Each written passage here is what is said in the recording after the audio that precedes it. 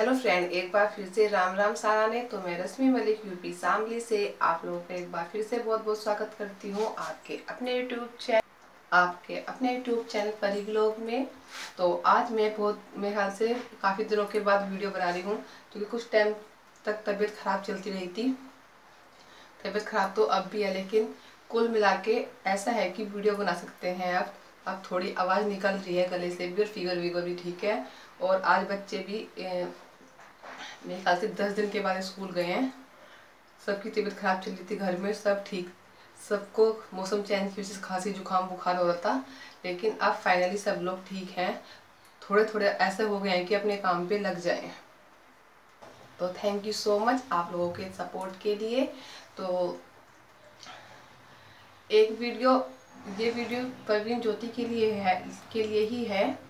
लेकिन मैं आज इस वीडियो में आपको ये ज़रूर बताऊँगी, जो ये बोलते हैं ना कि परवीन को सपोर्ट करते हो तो और ज्योति को सपोर्ट नहीं करते हो, ज्योति सही है, परवीन ने उसको बहुत ज़्यादा परेशान किया है, इसलिए ज्योति घर छोड़ के गई है, बच्चों को छोड़ के गई है अदरवाइज़ कोई माँ अपने बच्चों को छोड़कर नहीं जाती, ठीक है? और तुम परवीन को सही बताती हो, परवीन सही नहीं है, परवीन गलत है। तो बताओ अगर ये मान लेते हैं कि ज्योति सही हो, ज्योति बिल्कुल सही है लेकिन उसने सही होते हुए भी ना, वो गलत ही बोली जाएगी।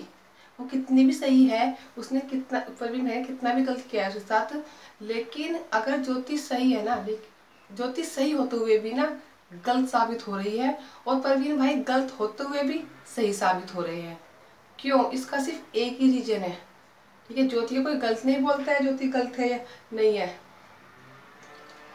जब लोग ये बोलते हैं कि उस परवीन को, परवीन भाई को छोड़कर गई है बच्चों को छोड़कर गई है, ये देखो, वो चली गई। ठीक है, बच्चों को छोड़कर वो चली गई। वो कितनी सही थी।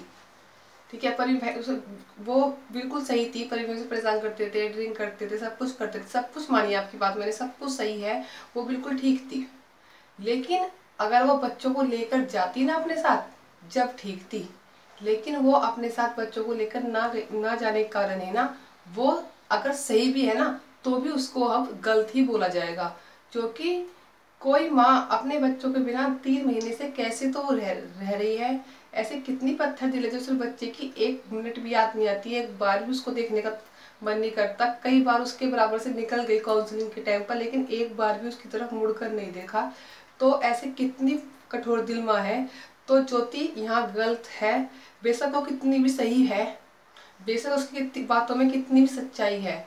लेकिन यहाँ आकर मैं उसको ज़ीरो मार्क्स ही दूँगी। यहाँ आकर वो पूरी की पूरी गलत है। और रही परवीन भाई की बात। ठीक है परवीन भाई ने गलती की है ड्रिंक भी किया होगा सट्टा भी खेला होगा ज्योति कप कुछ भी किया चलो। वो उनकी पर्सनल बात है उन्हें पता है कि क्या सच है क्या झूठ है। हम तो सिर्फ़ सुनते हैं और वो बता रहे हैं लेकिन असलियत तो ज्योति को और परवीन को पता है कि, कि कितना सच है इन बातों में और कितना झूठ है। लेकिन उस बंदे ने अपनी जिम्मेवारियों से वो भागा नहीं है। जैसे ज्योति अपनी एक माँ की ज़िम्मेदारी से भाग गई ना, ऐसे वो अपनी ज़िम्मेदारी से नहीं भागा। चाहता तो वो भी छोड़ के जा सकता था बच्चों को। उस, वो भी बोल सकता था कि मेरे, मैंने थोड़ा के लिए पैदा किए हैं। बच्चे तो दोनों के हैं ना, दोनों को पालने का अधिकार है। अकेला बंदा तो नहीं पाल सकता ना। कहने को तो वो भी कह सकते थे कि मैं अकेला क्यों पालूं बच्चों को जो ज्योति नहीं पाल रही वो भी छोड़ जा सकते थे, लेकिन नहीं, वो बच्चों के लिए आज भी बच्चों का साथ खड़े हैं और आने वाले टाइम में भी ये कहते हैं कि मैं अपने बच्चों का ध्यान रखूँगा और हमेशा उनके साथ खड़ा रहूँगा। उनकी देख, ऐसा नहीं है कि बोलते हैं कि उनकी दादा दादी देखते हैं बच्चों को, परवीन तो घूमता फिरता रहता है, ये करता रहता है, वो करता रहता है, शराब पीता रहता है। अगर वो घर पे रहे, बच्चों को ध्यान रखे तो आप लोगों को प्रॉब्लम है कि कुछ काम नहीं करता, निठल्ला है, घर बैठा रहता है।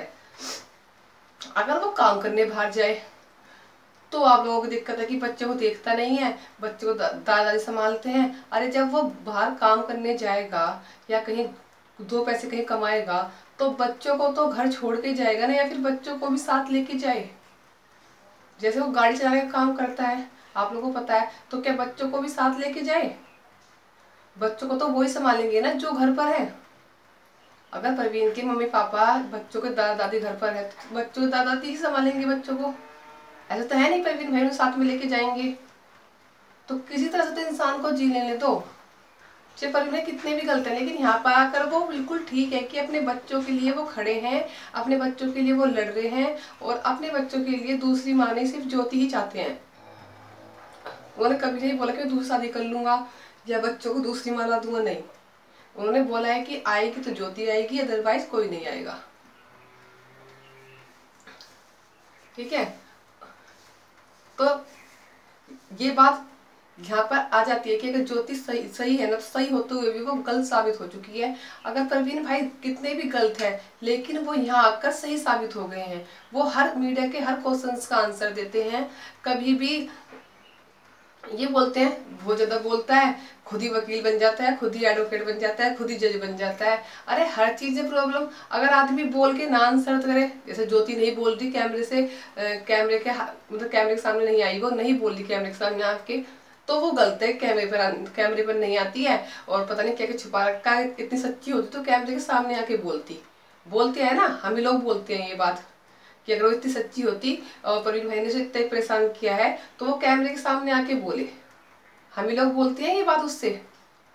आपस में। लेकिन अगर यही बात प्रवीण भाई कर रहे हैं, वो कैमरे के सामने आके बोल रहे हैं, लोगों की बातों का जवाब दे रहे हैं, क्या सही है, क्या गलत है, उसको ऑब्जेक्शन उठा रहे हैं तो इस बात पे भी गलत है कि वो इतना बोलता क्यों है, इतने आंसर क्यों देता है, अपने चलाता है जज है, ये है, वो है, पता नहीं क्या क्या किसी तरह से तो आदमी को जी लेने तो करे तो मरे, ना करे तो मरे, बोले तो गलत, ना बोले तो गलत।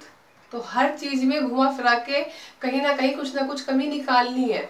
बल्कि ये कोशिश नहीं करते, जो दो महीने से तीन महीने से कंटिन्यू ये बोल जा रहे कि ज्योति मत आना, तुम ज्योति मत आना, ज्योति मत आना। अरे ये सोचो, जो तुम, जो आदमी बोल रहे हैं, अगर तुम्हारी वाइफ चली जाए तुम अपने बच्चों को पाल लो के कैसे रहेंगे बच्चे? गलती तो हर किसी से होती है। अगर ये गलती, ज्योति की जगह परवीन भाई ने की होती, परवीन भाई छोड़ के चले गए होते ज्योति को और दोनों बच्चों को तो जब क्या करते लोग? कोस कोस के जीने हराम करते थे। बच्चों की बच्चों की ज़िम्मेदारी से भाग गया, फला हो गया, ये हो गया, फल एक साथ चक्कर चल रहा होगा, जब नहीं सोचा होगा, ये पता नहीं वे क्या क्या सुना देते हैं ना? लेकिन वो लेडीज़ है तो उसे कोई नहीं कुछ कहने वाला नहीं है। अरे किसी के बारे में ना सोचो। ये तो दुनिया है, इसको तो कहने का काम है, जो कहती है कहती है। शायद इसलिए ये दो कान जो है ना, भगवान ने साइड में दिए हुए हैं कि अगर कोई गलत सुनना है ना तो सुनो और साइड से निकाल दो। दुनिया है, पता नहीं, अगर दुनिया के हिसाब चलने लग जाए ना तो आदमी एक दिन में मर जाएगा। अपनी भी कुछ जिम्मेदारियाँ होती हैं, अपनी भी कुछ सेल्फ रेस्पेक्ट होती है, वो बना के रखो। तो बस मुझे इतना कहना था। कि परवीन भाई सही होते हुए भी गलत साबित, गलत होते हुए भी अगर गलत है वे, लोग मानते हैं उन्हें गलत तो वो गलत होते हुए भी सही साबित हो गए हैं। और ज्योति चाहे कितनी भी सही है, कितनी भी सच्ची है, लेकिन वो सही और सच्ची होते हुए भी गलत साबित हो गई है, सिर्फ़ किस लिए? बच्चों को छोड़ कर जाने के लिए। और वो परवीन भाई सच साबित हो गए हैं, क्यों? क्योंकि वो आज भी अपने बच्चों की ज़िम्मेदारी निभा रहे हैं। आज भी माँ और बाप दोनों बनकर अपने बच्चों को पाल रहे हैं। बहुत कठिन होता है माँ के बच्चों को पालना। लेकिन वो फिर भी पाल रहे हैं, अपनी ज़िम्मेदारी से भागे नहीं है। तो इस वीडियो करते हैं यहीं पर एंड। मिलते हैं आपको एक अच्छी सी नई वीडियो के साथ। तब तक के लिए bye bye, take care. Video अच्छी लगी तो आप वीडियो को शेयर कर सकते हैं, चैनल को सब्सक्राइब कर सकते हैं। और वीडियो थोड़ी सी पसंद आए तो वीडियो को शेयर भी कर सकते हैं। तो फिर से बोलूँगी, अपना ध्यान रखें, मौसम चेंज हो रहा है तो खाने पीने का पानी का ध्यान रखें। ठंडा ठंडा पानी ना पिए अभी। तो बाय बाय टेक केयर